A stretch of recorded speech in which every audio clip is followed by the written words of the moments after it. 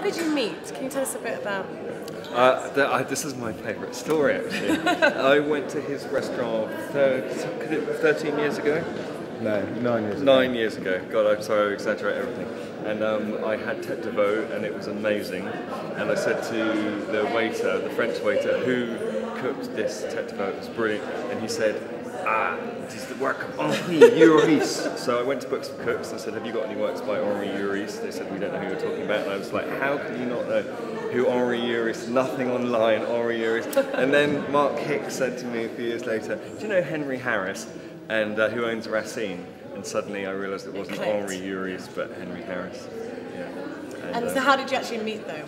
It was in Racine again. He, Val had uh, done his series What to Eat, and I had sat entranced by a man talking about beetroot for half an hour, and then eat onions for half an hour. I thought, yeah, here's someone who takes real ingredients very seriously. Yeah. And um, then suddenly he was there in the restaurant, and I kind of regressed into a childlike state and bumped into him as he got up from the table, which I sort of manufactured, and said, I'm rather a fan. And then he said, Well, actually, I'm rather a fan. And so we had this very kind of it's unmanly moment. Mutual admiration. And we've um, in each other's yeah, and we've been friends ever since.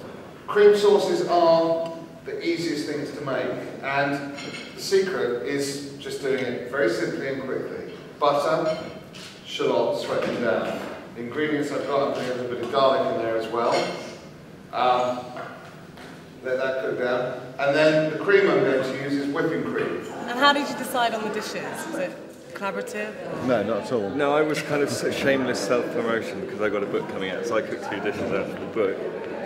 Um, but and also, but, but, but dishes because my main kind of thing is, at the moment is people saying I don't have the time to cook. Well, you can't really say that again after we've made a curry in seven minutes and some razor clams in five. I feel rather sorry for razor clams. They kind of, their kind of feet are hanging out like tired horses' tongues, and kind of, but they oh look there goes one on the move. Um, I know think when I was small, I used to collect all the shells and keep them in a shoebox and kind of go over them like a miser, making sure that there was the same amount in the box every night.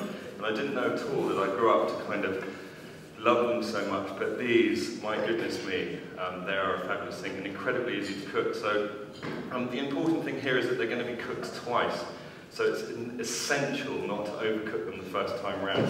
So really I've just steamed these for one minute until they've just opened and then prise them open because they've got to go back under the grill. So if you overdo it the first time then you'll turn a great thing into a wretched thing. Meanwhile, get my kidneys underway. I adore veal kidneys. They're just one of those wonderful things that are just full of flavour, very simple, um, and very nicely contained. When they're cleaned, they look like that. But when you buy them, they come in this huge lump of suet, which the best thing you can do is chop up and render down with a couple of bay leaves and peppercorns in, and um, use it for uh, dripping for your roast potatoes, or basting your beef with roast beef, anything. And what about the festival? What about Abergavenny? How's it different to others? smells, the people are horrible, yeah. and the food's disgusting. There's an enthusiasm. You walk out yeah. onto the street at 8 o'clock in the morning, the stalls are already set up, there's people eating, which is always a good sign. And Val's right, there's a smell and just an atmosphere that is just very sympathetic to good food.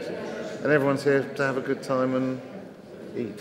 I've used the Trealy um, farm chorizo, which is absolutely delicious, but I am also going to add some extra um, smoked chorizo. Um, you can overdo it with chorizo and fish, it can kind of end up dominating things, but because razor clams are really quite punchy and they've definitely got a taste you know is there, they can kind of take it. So there's hazelnuts in here, there's tomatoes, there is, is there a grater? Anyone got one in their bag?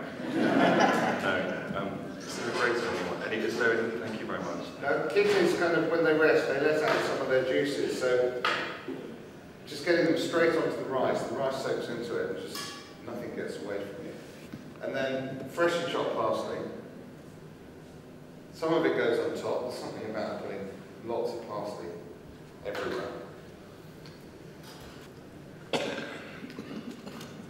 Spooning that around. Mm. And then just also a little bit thread through the middle. I'm done now. But that is, I suppose I should see what it's like. Yeah, Yeah, absolutely delicious. And what about tomorrow? Any other talks you want to visit? Well, I'm teaching fishing workshop in the morning, and I've been actually um, put on a very nice salmon beat tomorrow, so I will be.